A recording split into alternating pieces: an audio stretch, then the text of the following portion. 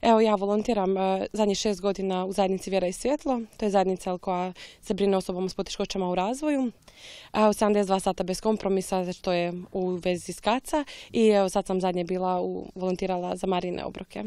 Osjeća se čovjek ispunjen i ljepše e, nego, nego kad se gleda samo sebe. Onda kad se vidi da se drugom pomoglo, odmah i tuđa radost poslije tvoja radost.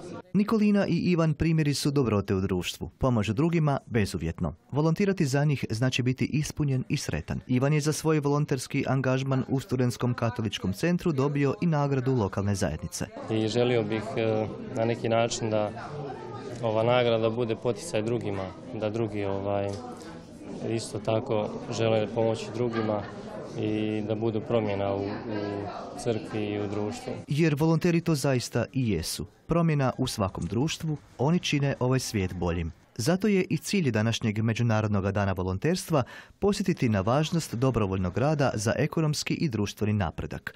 Volonteri ne dobivaju plaću, ali imaju nešto puno vrijednije. Da, nismo plaćeni, ali e, kroz mnoge druge stvari dobivamo puno više. Znači nije sve u materijalnom, sve u novčanome. E, prvenstveno kroz upoznavanje puno drugih ljudi, tu su neka i putovanja, e, druženja. Mislim da je to puno važnije i onako kad dođeš kući i kad sjedneš kad ti je srce puno i kad si radostan i kad znaš da činiš nešto dobro, jednostavno ti ni jedan novac, ni jedna novčanica ti to ne može zamijeniti. Želimo upravo volontiranjem pokazati da ovaj svijet može biti ljepši, bolji, da može biti sretniji, da može biti ugodniji za življenje. Pa evo, volonterizam je mislim nešto najljepše što čovjek može činiti, e, onako bez koristoljublja, bez ikakvog interesa vlastitog, čisto iz dobrote srca čovjekovoga, evo, e, namamiti osmijeh na lice onoga tko se možda već dugo nije nasmijao. Nikolina pak ističe kako je pomaganje djeci s teškoćama u razvoju najdraže u njezinu višegodišnjem volonterskom radu u zajednici Vjera i svjetlo. I to mi nekako najviše ispunjava. Nekako s njima raditi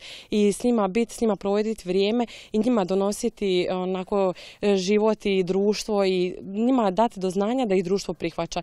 I tu sam se nekako pronašla i evo već godinama sam tamo i nikako da odem, znači to je to, to je moj poziv. Zato i drugima poručuje, nikad nije kasno činiti dobro za druge. I ovim putem pozvala sve da bilo kojem e, volontiranju da se nađu, da to rade jednostavno s ljubavlju i da vide da je to jedno dragocjeno vrijeme koje ćete dati i uza uzrat ćete primiti puno toga. Globalne promjene uvijek počinju s lokalnim, a lokalne s promjenama u samim pojedincima. Stoga pođimo svatko od sebe i budimo odraz dobrote u refleksijama oko nas.